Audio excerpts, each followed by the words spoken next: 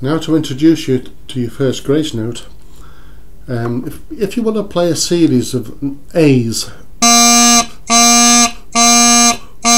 one after the other, you can't do that on a bagpipe because you can't stop the sound. So we have to use a grace note to mark the beginning of each note.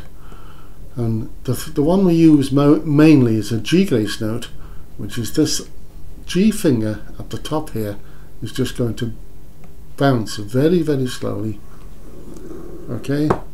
Just literally like that.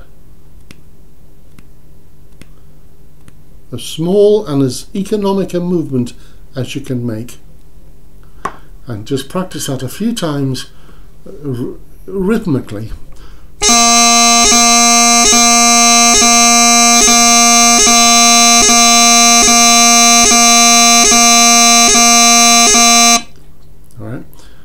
there you are.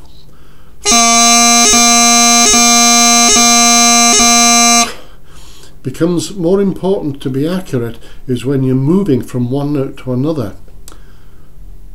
Like uh, like that. You're playing the G grace note between a, um, one note and the other. And the G grace note is actually, think of it as the cement between the notes. So when you want to move, say, from A to B using a grace note, then you lift the grace note first, and then as the grace note goes down again, you do the change to B. So we start on low A, we lift the grace note and then as you put the grace note down again you move to the note you want to be on which is B. Played very slowly it sounds like like that.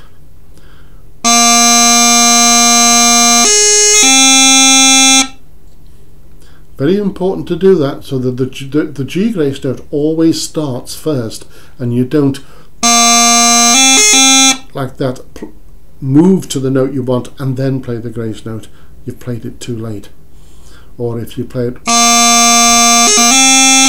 you've played it too early because you played it on the low A and then did the move. The important thing is that the G grace note is being played, you make the change from one note to another while the G grace note is up in the air.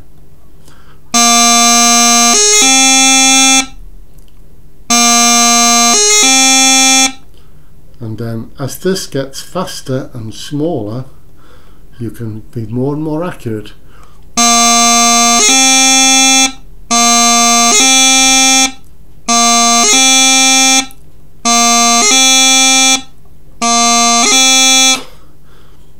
try going down as well.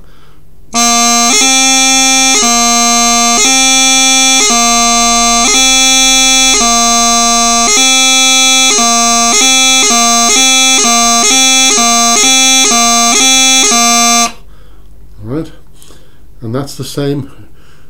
Whichever note you're starting from and whichever note you're going to finish on if you're playing a G grace note on it lift the G grace note first and then move to the note you want to be on so if you want to play from A to uh, E for, instance you want to start on and you want to finish on then we're going to lift the G grace note first and then as it comes down we'll change to the E we, we want to be on. So it would sound